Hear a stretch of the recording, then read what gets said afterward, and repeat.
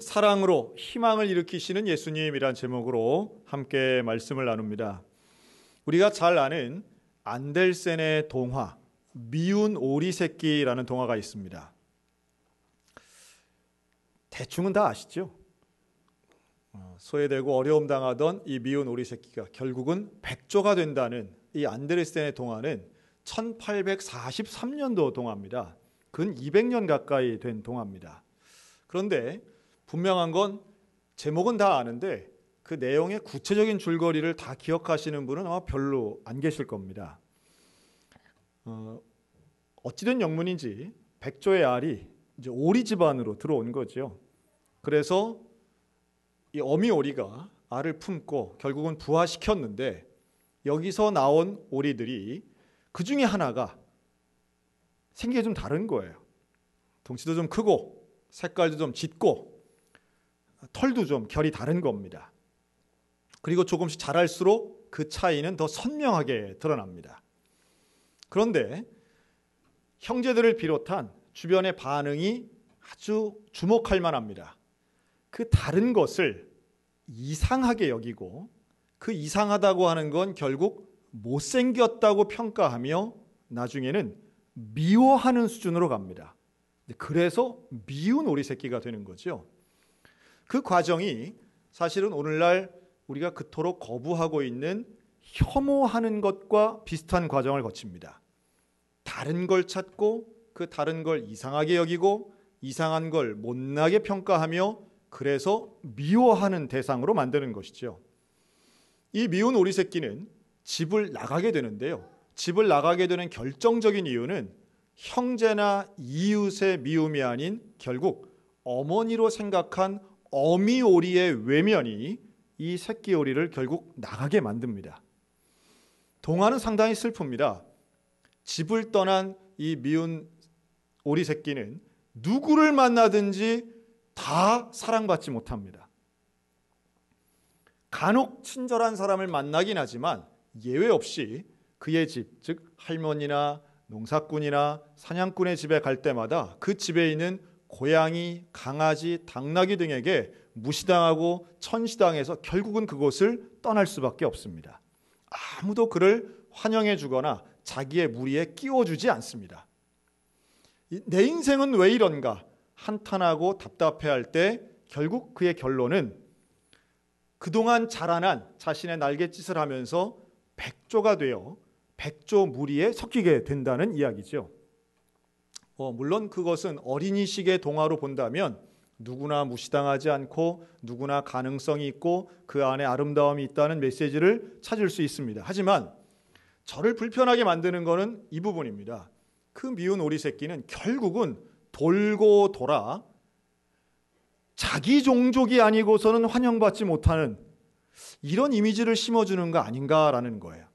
차라리 백조가 아니라 본인은 백조가 돼도 고양이 무리에서 친하게 살았다 하면 더 근사한 결말이 아니었을까 하는 게 제 개인적인 생각입니다.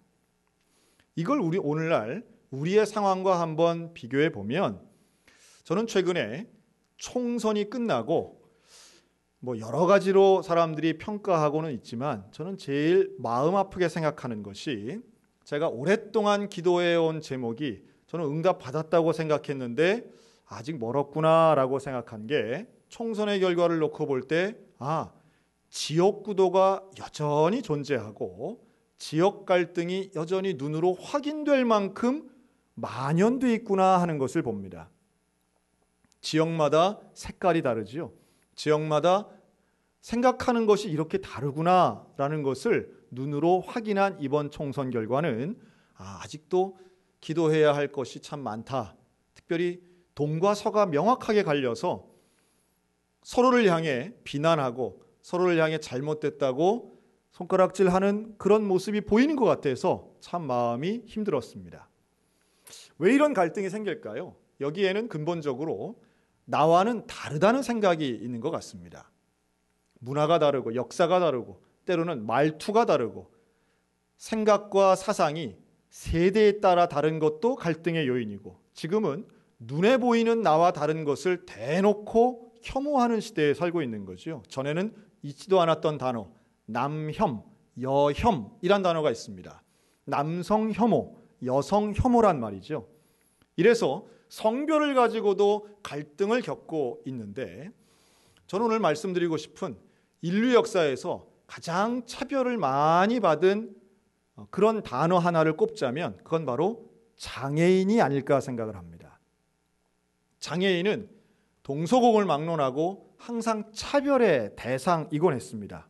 왜냐하면 장애인은 눈에 보이는 특징들을 갖고 있기 때문이고 또 하나 그 장애는 결국 나보다 약한 모습이고 나와는 다른 모습이기 때문에 사람들이 여기에 대해서 차별을 하고 성경에도 나와 있듯이 저 사람의 저러한 어, 선천적인 장애는 본인의 죄 때문입니까? 아니면 부모의 죄 때문입니까? 라고 하는 질문에서 알 수 있듯 그러한 장애는 결국 하늘로부터 내려진 형벌이다. 또 나와는 상관없는 것이고 저런 사람은 당연히 차별해도 괜찮다는 역사적인 의식이 있다는 거예요. 그러나 결론부터 말씀드리면 이 땅에 존재하는 생명은 하나님이 창조하신 것이고 하나님이 창조하신 생명은 그 어떤 것도 차별되어서는 안 된다는 말씀을 드립니다. 그리고 이 경제주의에 자본주의에 사는 우리에게는 이렇게 심한 말을 할 때도 있습니다. 야, 저런 인생은 차라리 도움이 되지 않으니 이 사회를 위해 없는 게 낫지 않겠어? 생산성이 없고 경제성이 없고 구체적으로는 돈을 벌지 못하고 남에게 도움 주지 못하는 사람들은 차라리 없는 게 낫지. 하, 참 안타까운 이야기죠. 하다못해 어벤져스의 타노스도 우주의 질서를 지키겠노라고 절반을 없앨 때에 이런 비슷한 논리를 앞세우기도 했습니다. 그러나 하나님이 창조하신 이 땅에 필요 없는 인생은 없는 것이고 무가치한 생명은 없다는 것을 최소한 우리 기독교인들은 인정하고 믿고 가르쳐야 될 줄로 믿습니다. 여기에는 우리의 생각의 전환이 참 중요한데요. 이러한 장애인을 대하든 혹은 약자를 대할 때에 우리의 마음 속에 이게 나와 상관없고 나와 다르다는 것이 아니라 누구나 장애인이 될 수 있고 누구나 장애인의 보호자가 될 수 있으며 이것은 곧 나의 문제고 나의 이야기라고 하는 공감대가 필요하다는 말씀을 드리고 싶습니다. 여러분 우리나라 전체 인류 중에 장애인이 어, 장애인의 퍼센트가 약 6% 정도 됩니다. 제가 질문 하나 드릴까요? 이 6% 장애인들 중에 선천적 장애인이 많을까요? 후천적 장애인이 많을까요? 전체 장애인의 90%가 후천적 장애인입니다. 다시 말해 누구나 하루아침에 장애인이 될 수 있고 그 장애인의 보호자까지 포함한다면 얼마든지 이 장애인 문제는 우리 모두의 문제라고 하는 거예요. 특별히 장애인 보호자에 대한 연구를 보면 우리 그렇지 않은 사람들, 장애를 갖고 있지 않은 사람들의 우울감이 지수로 약 5 정도를 표현할 때 장애인 보호자들이 겪고 있는 우울감은 그 4배가 넘는 20 정도로 봅니다. 상당히 어려운 것이죠. 그래서 끊임없는 문제, 끝날 것 같지 않은 상황에 대해서 이 장애인 보호자들이 겪고 있는 아픔과 눈물, 그 외로움을 누군가는 이해하고 품어주고 도와주고 최소한 격려해주는 역할을 해야 되는데 우리 기독교인이 해야 되지 않는가? 그리고 할 수만 있다면 그런 사람이 많은 나라, 분명히 좋은 나라, 선진국이고 위대한 나라일 것이고요. 최소한 하나님 우리에게 맡겨주신 사명은 바로 이런 차별이 아닌 함께 살아가는 놀라운 공동체를 만들라고 하는 사명 분명히 있다는 것이죠. 오늘 저는 그러한 이야기를 오늘 성경 본문에서 찾을 수 있다고 생각합니다. 즉, 사도행전 3장에 나오는 이야기는 우리 모두가 잘 아는 성전 미문 앞에서 국어를 하고 있는 보행 장애인에 대한 이야기입니다. 이 사람은 선천적 장애인입니다. 날 때부터 걷지 못했습니다. 그리고 그가 할 수 있는 일은 당시의 사회적 분위기에서 생산적인 건 물론이고 그 어떤 사회 활동도 할 수 없는 차별과 외면받던 사람이었습니다. 그가 할 수 있는 유일한 일은 구걸하는 일이었습니다. 그것도 누군가의 도움을 받아서 성전 미문 앞에 앉혀주면 거기에서 하루 종일 작은 돈들을 받아가며 구걸하는 것이 그가 하는 일이었습니다. 그런데 그 앞을 기도 시간 오후 제 3시쯤 되어서 베드로와 요한이 지나가는 거죠. 그리고 지나가면서 그냥 지나가지 않고 바로 이 사람을 주목하여 봅니다. 이 3절, 4절, 5절에는 본다는 내용이 네 번이나 표현되어 있는데요. 이 본다는 표현들이 다 각각 다른 헬라어로 쓰여져 있습니다. 즉 처음엔 베드로와 요한을 올라가는 들어가는 3절에 보면 이 앉아 있는 거린이 그냥 지켜보는 거예요. 이것을 에이도라는 단어로 쓰는데요. 이건 그냥 see 쳐다보는 겁니다. 그런데 베드로와 요한이 이 사람을 주목해 봅니다. 이때는 아테니조라고 하는 단어가 쓰이는데 이건 응시하다는 뜻이에요. 그리고 이렇게 말합니다. 이 베드로와 요한이 이 사람에게 말하는 거 한번 따라 해 보시겠습니까? 우리를 보라. 네, 우리를 보라. 이렇게 말해요. 이건 블레포라고 하는 단어인데요. 이것은 아주 주목해서 신경 써서 보는 겁니다. give attention 하는 거예요. 그냥 보는 게 아니에요. 집중해서 보는 거예요.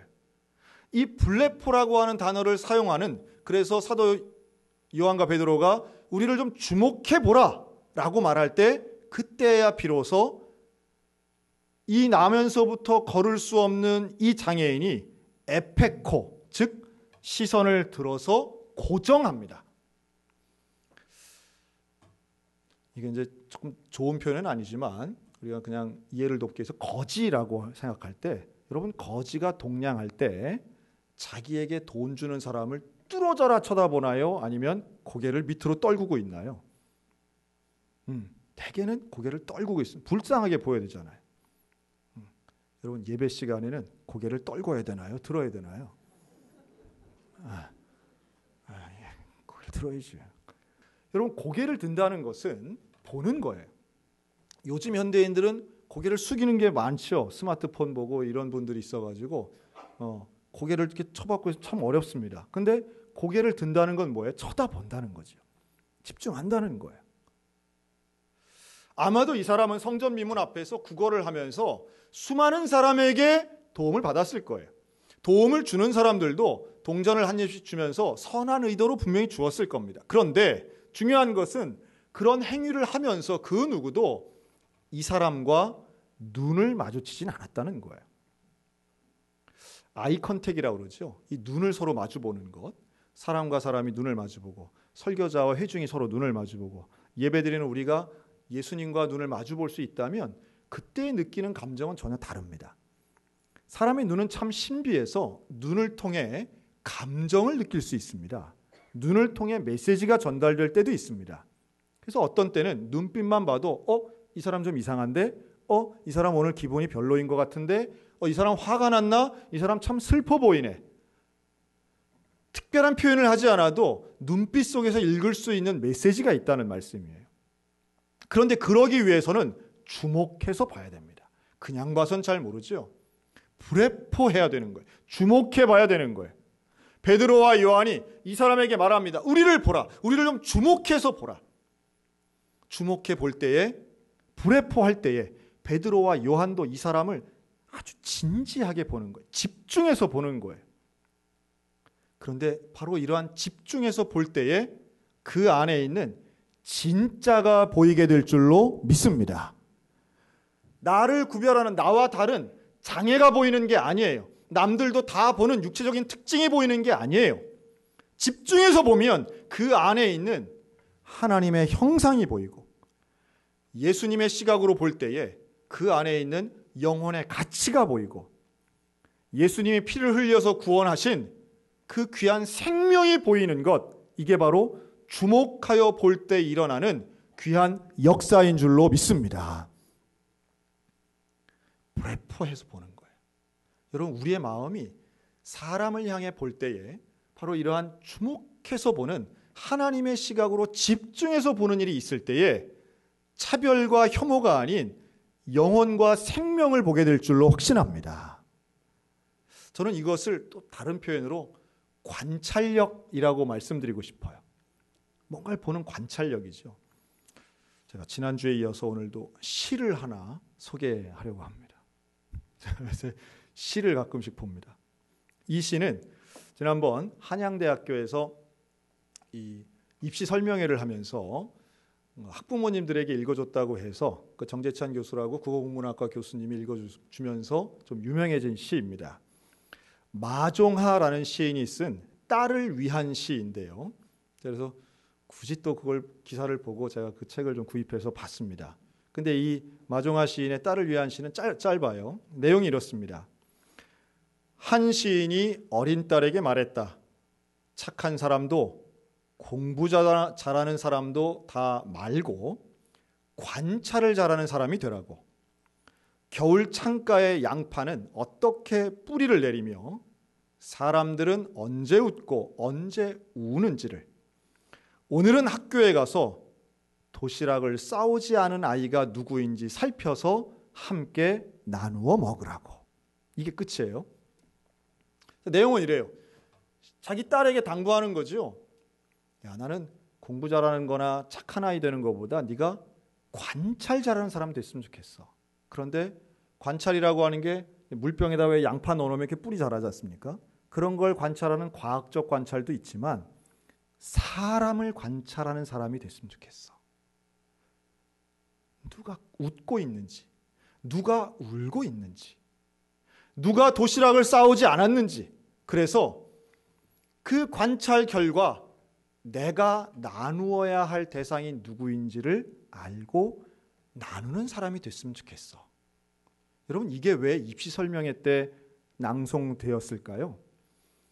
그 교수님은 나와서 우리 대학은 남들 밟고 올라서는 경쟁에서 이기는 헛똑똑이 만드는 교육이 아니라 사람을 품고 사람을 관심 있게 내가 도와줄 수 있는 지식인을 만드는 게 목적입니다.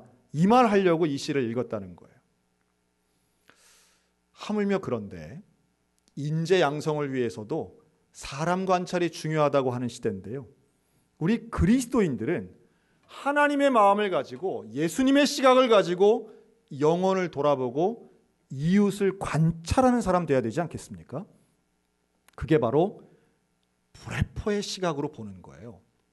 남들은 동전 몇 입이면 그저 그 정도면 내가 할 일 다 했어 라고 하는 시각으로 지나가는 사람들이 성전 앞에 많았지만 베드로와 요한은 이 사람을 주목해 보는 거예요. 관찰하는 거예요. 브레포의 시각으로 바라본 거예요. 그랬더니 아, 이 사람에게 정말 필요한 것은 금도 아니고 은도 아닌 바로 예수 그리스도다. 예수 그리스도임을 깨달은 베드로와 요한이 이렇게 말합니다. 은과 금은 내게 없지만 내게 있는 이것을 내게 주노니 나사렛 예수 그리스도 이름으로 일어나 걸으라. 예수 그리스도. 여러분 그 이름을 증거한다는 것은 전파한다는 것은 사람을 주목하여 보고 영혼을 집중하여 보는 그래서 생명의 소중함이 발견된 사람이 전달하는 이름 예수님 이름 이름인 줄로 믿습니다. 오늘 우리에게도 필요한 거죠. 그 예수 이름으로 두 눈이 마주 보는 거죠. 예수의 사랑으로 아이 컨택이 됩니다.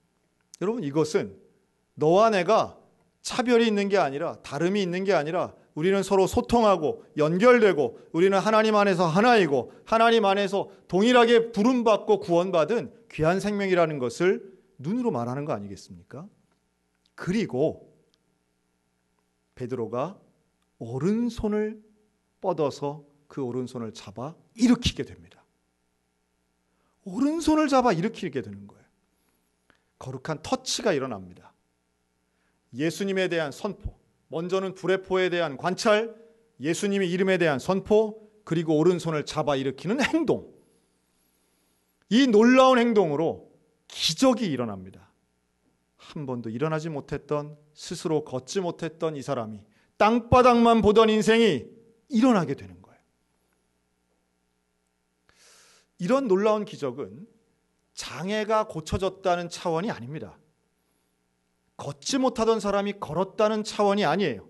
이것은 성전을 들어가지 못했던 인생이 성전을 들어가는 것이고 땅바닥을 보던 인생이 사람을 바라보는 것이고 하나님을 바라보는 놀라운 영적인 변화, 영적인 구원이 이 인생 가운데 일어나서 하나님을 찬양하는 인생이 된 줄로 믿습니다. 이게 구원이죠. 구원이 일어난 거예요. 차별당하던 사람, 외면받던 사람, 누구와도 눈을 마주치지 못하던 사람, 누구에게도 도움되지 못하다고 스스로 비하하던 인생이 성전에 들어가서 하나님을 찬양하기 시작합니다. 여러분 오늘 우리에게 일어나야 할 일이 바로 이런 일이 아닌가 생각이 듭니다. 4월 20일 지난 월요일은 우리 정부가 정한 장애인의 날입니다. 그래서 오늘은 사실 장애인 주일이기도 합니다. 우리의 관심이 아닌 사실 우리가 함께 살아가야 하는 아름다운 공동체를 만들기 위해선 누구도 차별받지 않아야 되고 모두가 하나가 돼야 되는데요. 특별히 우리 교회는 25년 넘게 사랑누리 학교를 운영하고 있습니다. 지금 이 코로나19 사태에 가장 어려운 분들 중에 하나가 바로 우리 사랑누리 학교 학생들과 그의 보호자들입니다. 참 힘들죠. 가던 모든 활동이 다 멈춰지고 가정에서 오롯이 그 보호자들이 돌봄을 한 몸으로 다 감당하고 있습니다. 격려하기 위해서 신방도 했고요. 우리 사랑누리학교 선생님들이 애도 많이 쓰고 기도하고 있습니다. 저도 조속히 우리 사랑누리학교가 회복되고 정상 운영되기를 바라고 있습니다. 그런데 그 영혼들을 하나하나 생각해 보면 하나님이 우리 교회에 주신 참 큰 은혜고 축복이다라는 생각이 듭니다. 불회포의 눈으로 바라보면 집중해서 바라보면 얼마나 영혼이 귀한 줄 몰라요.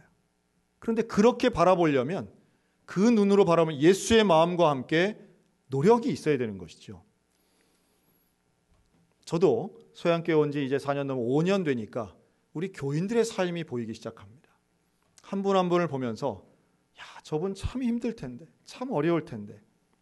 그래도 교회 충성하고, 그래도 하나님 앞에 나와 예배드리고, 그래도 가족이 함께 기도하고, 그래도 감사하다고 하나님께 헌신하고 있는 그런 모습들은 그냥 모습 자체가 감동인 것이죠.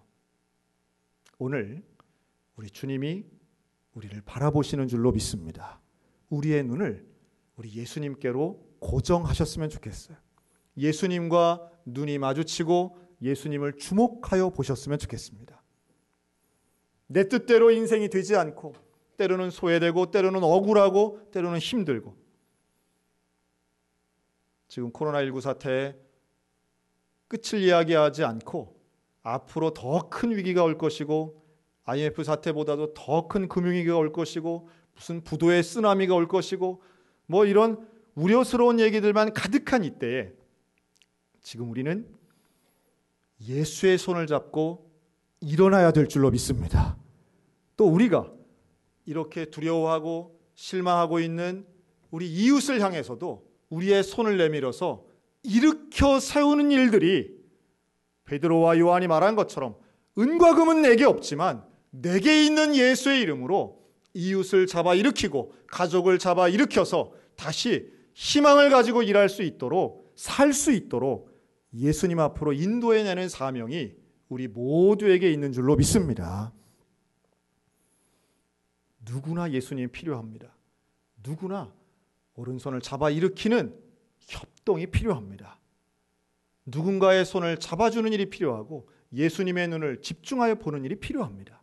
그리고 그 땅이 그 지역이 우리 대한민국이고 우리 강원도가 되기를 소원하고요. 그 일이 시작되는 곳이 우리 소양교회가 되기를 간절히 기도합니다. 우리 모두에게 유일한 소망이요 희망 되시는 그 예수님 앞에 이 민족을 회복시켜 주실 그 예수 그리스도 앞에 오늘도 집중하여 보고 예수님의 이름을 선포하고 오른손을 잡아 일으키는 저와 여러분들 다 되시기를 우리 주님의 이름으로 축원합니다. 아멘.